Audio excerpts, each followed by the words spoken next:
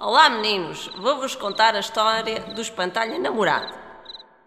Gustavo era um espantalho feliz.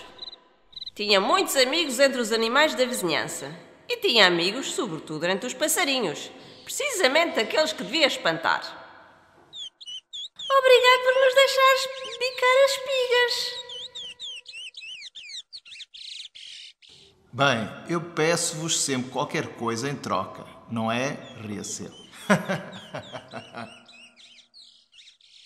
De facto, Gustavo confiava nos passas para levarem as suas ternas mensagens de amor à Amélia, a menina espantalho que vivia no topo da colina.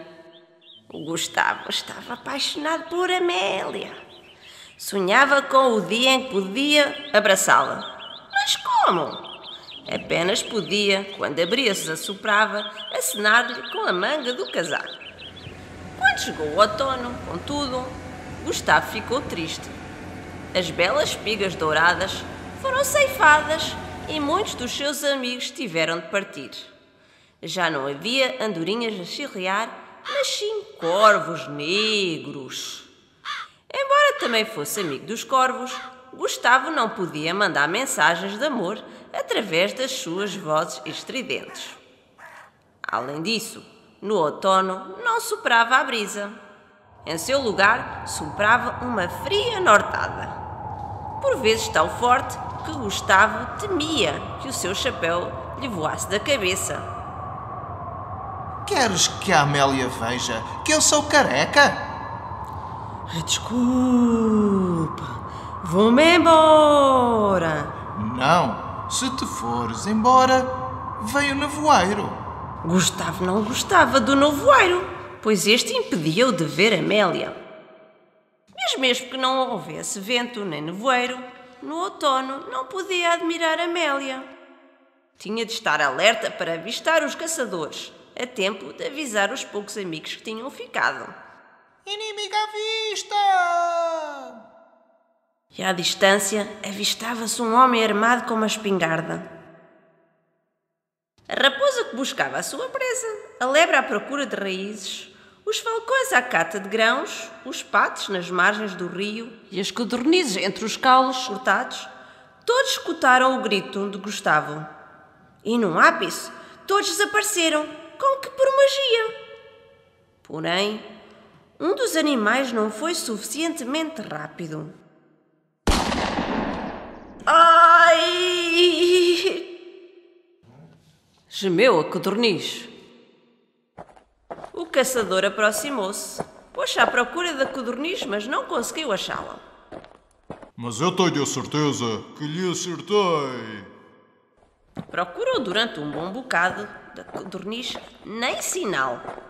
O caçador continuou a resmungar. Primeiro confuso, depois zangado.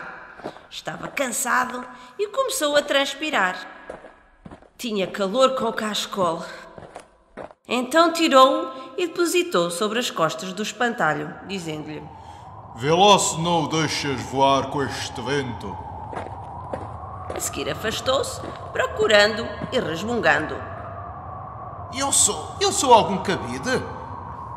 Mas parou de protestar, assim que sentiu o calor do belo cascol. Ui, está tão quentinho. Talvez a codorniz. Olha, codorniz, o caçador já se foi. Estás ferida? Só um bocadinho. Salvaste-me a vida. Como posso agradecer-te? Leva este cascola à Amélia. Deve estar cheio de frio com aquela roupa levezinha. Com o seu rápido bater de asas, a codorniz chegou ao topo da colina.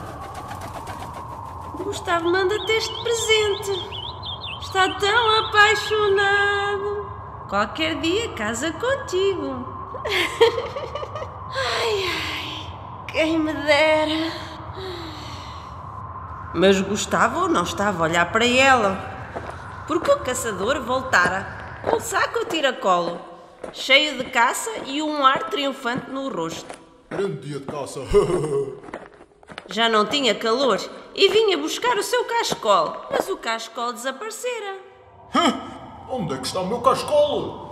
E tu, espantalho? Em vez de ficares aí parado, devias ter evitado que levassem o meu cascol. Agora tenho frio.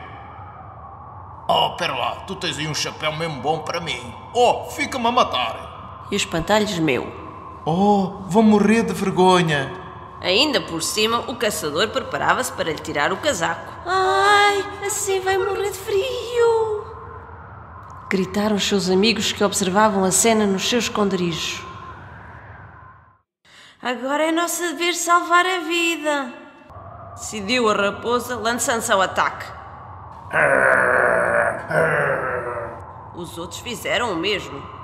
Patos, fazões, corvos, lebres e codornizes atiraram-se ao caçador, fazendo-o cair. Ai, ai, ai, ai, ai, ai, ai,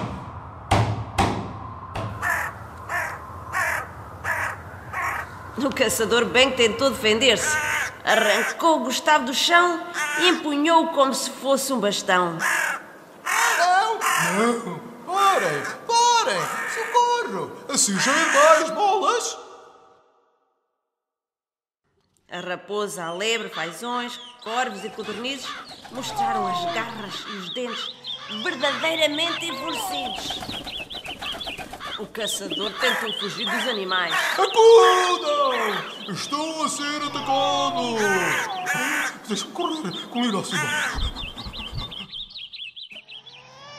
A meio da subida, o caçador já estava quase sem fogo, bem como os animais que o perseguiam. Por favor! Parem lá um bocadinho! Vamos lá, amiguinhos, vá, vá, à força. Só mais um bocadinho, temos quase lá. Mas o Gustavo continuava. Só mais um bocadinho, estamos quase lá.